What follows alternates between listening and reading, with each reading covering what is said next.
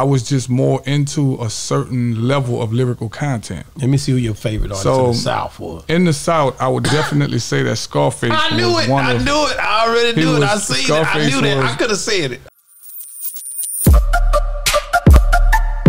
Yeah, we on Boss Talk 101.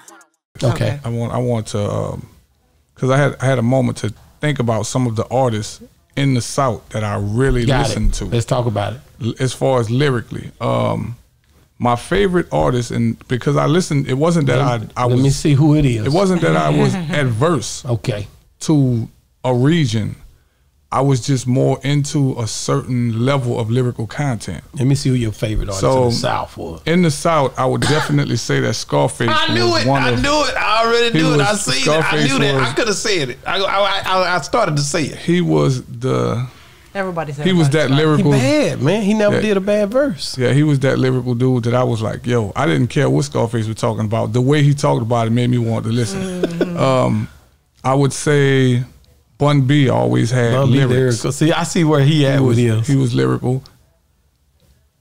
Eight Ball, Eight ball. MJG too. Uh, you can't do that. You not for the lead pimp out. We for to be into Hold it. on, I'm waiting. no, no. That's what I No, was no, waiting. no, I I'm was finna waiting. get mad. He he You know? ain't- he ain't done let, yet. Let me. I Go ain't done yet. I ain't done yet. I like Eight Ball and MJG, and um, Outkast definitely. Outcast Outkast word. Outkast kind of made me proud of the South. I just like Andre. Yeah, they, they- Yeah, she always say that. Yeah, they they um they made me proud of the South hard. lyrically. Um so Outkast Goodie Mob. Goodie Mob loved Goodie, Goodie Mob. Mob's good. They were another group that made me proud of the South. And believe it or not, believe it or not, um Mystikal. Mr. Bad, man. But I can't really speak on them because we was on the same label, so I love I, I love a lot of them. He's And different, I'll. I'll seem biased if I talk about Mm-hmm. um, the people on the label. Juvenile. Juvenile was dope. What people Still didn't dope. give P- Juvenile um, credit for, his style was so unique that I don't. Him and Mystikal, I, I think that their styles were so unique that they didn't really get the credit I felt they deserved for their lyrical content. You see what I'm saying? Fiend, another artist that I think that his style was so unique that it kind of went over your head that Fiend that was dope. real lyricism. But y'all was hogging the game during that time. I, it, it's not Uh, fair, bro. It's like that time. It was it was phases where it wasn't nothing else going on. All the music was dropping with no limit, man.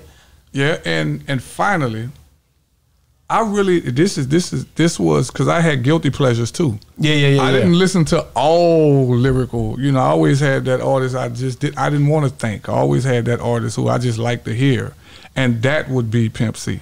He was I just liked Pimp's voice, and I liked his tracks. I really didn't care what Pimp was talking about. His voice and his tracks was just fire. I mean, that sweet John, he just Yeah, had that sound. It's- and the production. He that's, produced. that's what I mean. Yeah, the tracks, Yeah. the tracks were just dope, and he just had that voice. Wow. So that was one of my guilty pleasures. It was like it really didn't matter. I just like it. I can't lie, man. Scarface is one of those dudes. You mentioned him first. His lyrics and the way he ride beats, man, it's just it, it's a difference to what he come in. I used to tell dudes all the time because they would say Jay Z this, Jay Z. I said, nigga, you bring Jay Z, I'm gonna bring Scarface, and I promise you, he gonna know what it is.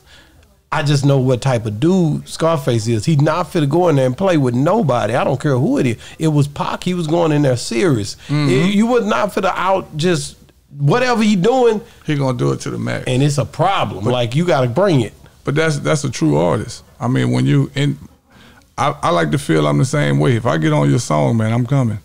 I hope. I really hope that you. Um, I really hope you do your due diligence, and I really hope that you you prepared. Because I mean, I'm gonna do me. Yeah, we on Boss Talk 101.